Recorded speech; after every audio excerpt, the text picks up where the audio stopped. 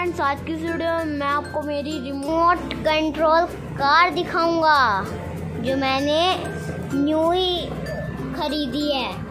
तो let's get started तो पहले मैं आपको इसका नाम बता देता हूँ क्या है?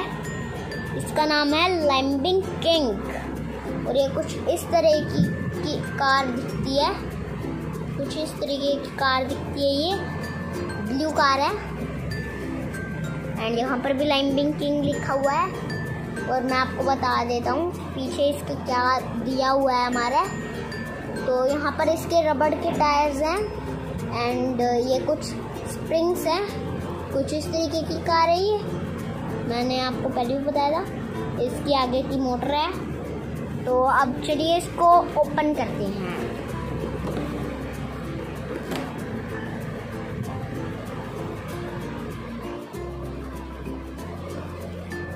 टेप को निकालना पड़ेगा। इसको ओपन करने के लिए हमें टेप को निकालना पड़ेगा, है ना? तो वन टू थ्री गो ये ओपन हो गई है हमारी कार। ये रही हमारी कार। और इसके साथ एक चार्जर भी आता है। ये चार्ज होती है कार। एंड जैसा कि आप सब देख सकते हो ये चार्जर है एंड ये है रिमोट इससे आगे पीछे होता है एंड इससे लेफ़्ट राइट होता है।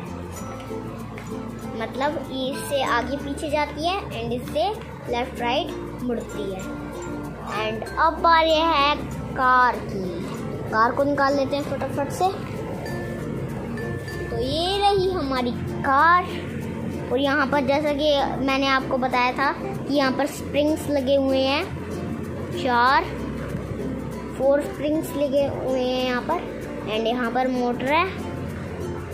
एंड पीछे भी मोटर है। एंड मैं आपको इसका पीछे का पार्ट दिखाता हूँ। ये ऑफ़ है अभी। इसको ऑन कर दूँगा मैं। अभी ये चार्ज नहीं हुई है, इसीलिए मैं इसको ऑफ़ ही कर रहा हूँ। एंड मैं अब बारी आती है चार्जर की, कि ये कैसे चार्ज होती है। कुछ ऐसा चार्जर है इसका मतलब चार्जर नहीं है, इसकी बैटरी है। इसको चार्ज करना पड़ता है उस वाले चार्जर से। ये कुछ इस तरीके की बैटरी है। अब इसको बंद कर देते हैं हम।